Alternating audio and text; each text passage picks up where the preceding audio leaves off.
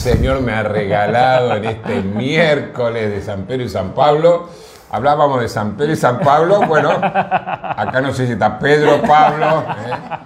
pero qué lindo. Qué alegría estar de nuevo por acá. Y nosotros también. ¿no? Y sabemos que mañana vas a... Mañana es mi defensa de tesis. que te va a ir De excelente. a poquito me van entrando los nervios. No, pero te va a ir excelente, doy fe de eso. este, eh, y además, bueno, eh, la alegría que también has podido venir con tu papá. Hemos venido con mis padres, la primera vez que yo subí en un avión.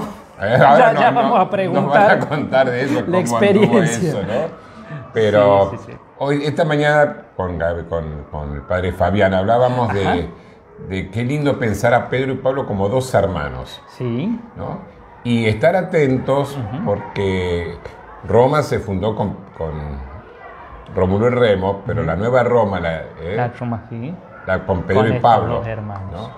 Y a mí me parece, eh, me gustó eso y dice, cuidado porque Caín mató a Abel.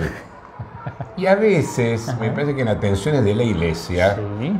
puede pasar que alguno quiera matar a Pedro y otros quieran matar a, A Pablo. Pablo. La tensión Como que se ponen de un lado, del otro, como si no hubiese. la tensión entre jerarquía Ajá, y carisma. y carisma, además. lo carismático y lo jerárquico. Te introduje eso y ahora quiero escuchar a- al licenciado. Pero ¿entendés lo que Sí, planteo? sí, sí, el A planteamiento. mí me parece que es una equivocación. Sí, yo creo que es como el gran error de decir o de un lado o del otro. En realidad la iglesia es esa diversidad. Eh, Yo creo que la Pentecostés nos muestra eso, el nacimiento misionero ese de la iglesia tiene que ver con una diversidad de dones en el que mi hermano no es un enemigo, en el que mi hermano no es alguien a quien tengo que sacar para yo ocupar, sino entre todos aportamos y entre todos contribuimos en la riqueza, en la misión y Dios va obrando a través de todos. Ninguno agota. Ninguno agota. Todo y lo más que nunca yo creo que este tiempo es un tiempo para el I.